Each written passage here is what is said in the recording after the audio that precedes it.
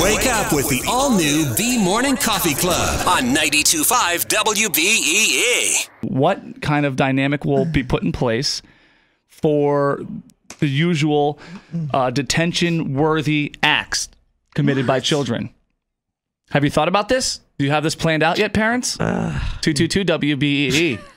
I mean, detention was always on the brain when I went to school. How to get out of it, what not to do to get it, stuff like that. So, what happens when you're homeschooled? Can you tell them to clean the toilet or or take out the garbage or mow the lawn for something hmm. that they would normally get in trouble for for doing in school? Is there a separation? We're looking to you because Why are you looking at me? I, I gotta, don't- I, I still got to get a backpack. Like I haven't thought through any of this. I don't know what the heck I'm going to do with that kid, and we all know the one I'm going to have a difficult disciplinary time with. Um, I only have one child, and that's my son having three days a week at home.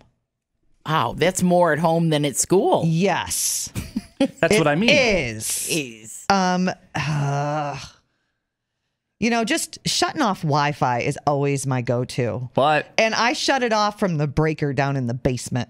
that's the, I don't just shut off, I shut off that whole wall. that's the access to school though. So if you shut the Wi-Fi off, no school. Right.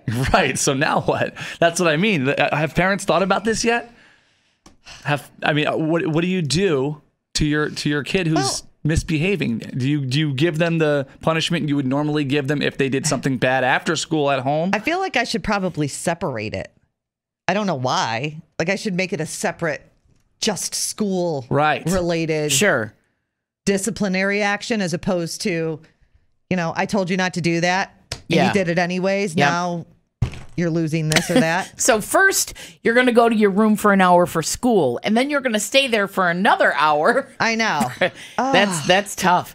Are you going to sit with him? Yes. Well, at first, yes. And probably most of the time. Ugh. So I, I mean, I have to. Yeah. He's never going to stay on task. This is insane. Yeah. He's eight. He will never stay on task. yeah. He will get right out of that and be in his room doing something else. And I'm thinking he's going to school and he's not.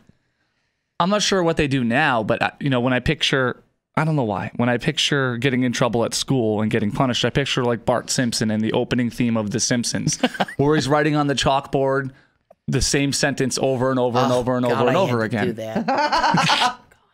Do you remember any anything you had to write, or has it been too long? I will stop talking. I will not talk. I will listen. I will pay attention. I mean, any version of that theme I wrote, and it, it all it normally for typical kids it would start at fifteen, maybe twenty times. Mm-hmm. There were six chalkboards in my classroom because two walls. I would I would often have to fill up an entire wall with it.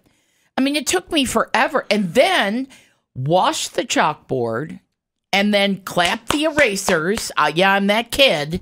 And then wash down where the chalk went. So I had to create the mess and then clean the mess. And then I could go home. And I was all full of white dust Yeah. all over my uniform. So my parents knew I had gotten in trouble again. You know what? And I'm still waiting for a lawyer's ad to be like, did you have to clap together the chalk? Studies have shown that ingesting that chalk off the Gives you erasers has- mesothelioma. Yeah, that's right. Call us now. yes, that's right. wow. TJ, Terry, and that new guy, Chris Kanya. It's the all new B Morning Coffee Club on Rochester's New Country 92.5 WBEE.